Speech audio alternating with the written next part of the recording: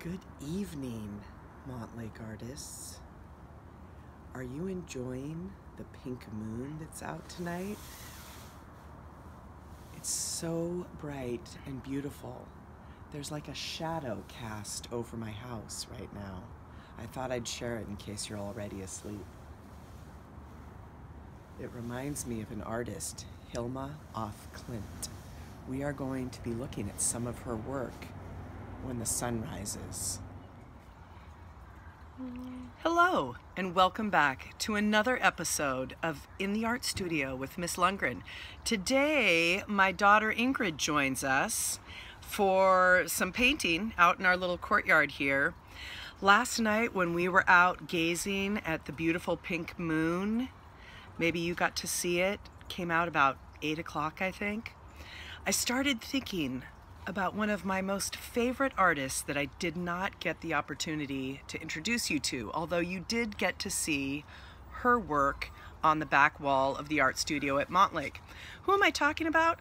I'm talking about the most fantastic abstract painter, a real original and visionary, Miss Hilma af Klint. She was born in Sweden in 1886, long time ago. She was pretty unknown all the way up until 1986 when her artwork was found and she suddenly became an overnight smash sensation in her home country of Sweden. Last year she had a huge solo exhibition at the Guggenheim Museum in New York City where I believe about 120 of her paintings were on display. Hilma is well known and could very well be one of the first abstract artists. That's right, she made paintings that she considered to be a language, a language of the future. When she was about to die, she requested that her artwork not be shown for 20 years until after she had passed away. She felt that the world was not ready for the messages and the symbols that were found in her artwork. She took great inspiration from another group of women. It was like an artist group of women called the Five. These five women would get together and they would practice all types of different magics, including trying to speak to spirits of people that had passed away.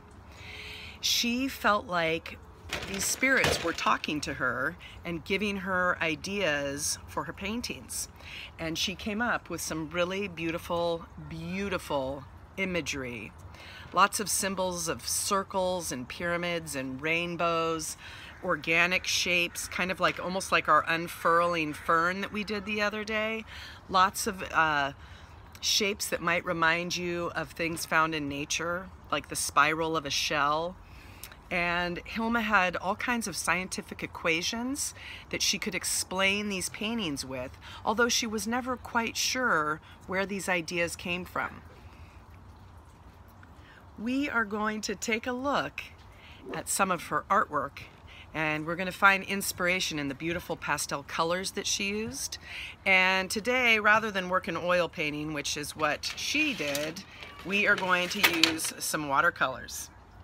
Ready, Ingrid? Yep. Okay, let's get started.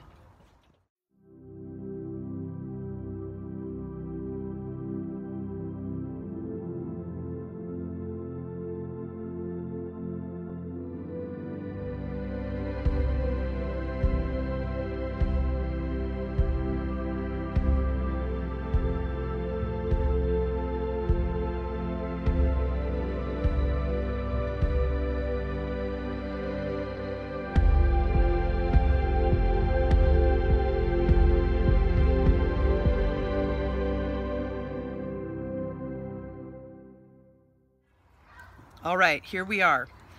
Paintbrushes, watercolors. Please, please email me if you do not have watercolors at home. I will scale the side of the building and loot the school of every set of watercolors and oil pastels if you do not have them. Let me know, please. We've got brushes, we've got our dish of water right here, we've got a couple of different types of watercolor paints. I know those are mine because they have my name on them. They're kind of grubby, but that's okay. We're gonna start out with um, some really nice Hilma inspired colors. Lots of pastels. And we're gonna see what comes up. I'm gonna start with some circles. What about you, Ingrid? I think I might start with some flowers. Oh, good. Some flower images. Okay, here we go. Get started.